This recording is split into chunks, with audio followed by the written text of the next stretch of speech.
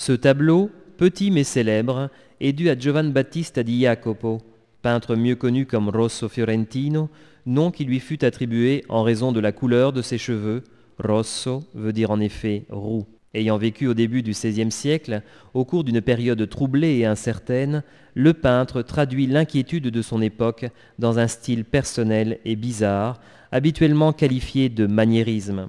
La manière de l'artiste, devenue de plus en plus raffinée avec le temps, plus particulièrement au roi de France François Ier, qui demanda aux peintres florentins et à d'autres artistes italiens de se charger de la décoration du château de Fontainebleau.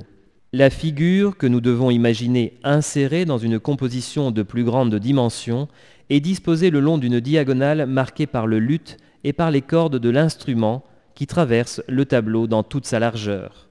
En bas, à gauche, on discerne nettement des traces des marches sur lesquelles le petit ange est assis, représentées elles aussi en billets. La profondeur de l'image est donnée par le grand luth qui couvre presque entièrement le corps de l'ange. L'image est comme parcourue par deux diagonales, marquées par les ailes bariolées qui se rencontrent au centre du tableau, à la hauteur de la tête de l'ange. Les petites mains effilées, dessinées en quelques traits, traduisent la recherche personnelle d'un nouveau langage formel, en mesure de dépasser les formes équilibrées et mesurées de la peinture du XVe siècle. Ce tableau devait faire partie d'un retable ayant pour sujet principal la Vierge à l'enfant, sur le modèle de la Conversation sacrée peinte par Raphaël actuellement à la Galerie Palatine.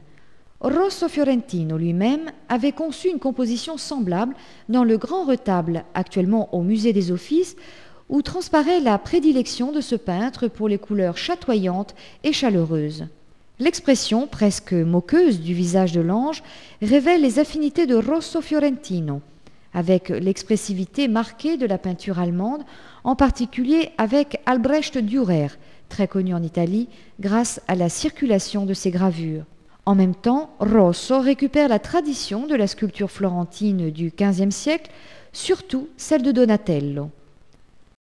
Le sujet faisait sans doute partie d'une grande composition représentant peut-être une Vierge à l'enfant exécutée en 1521. La date a été retrouvée sous le vernis sombre qui recouvre le fond du tableau. Le petit ange musicien était probablement assis sur une des marches du trône, encore reconnaissable dans les lignes parallèles qui parcourent le tableau. Le petit ange, aux ailes bariolées, joue du luth tout en appuyant doucement sa joue contre l'instrument. Son visage joufflu est entouré d'une masse de cheveux ébouriffés.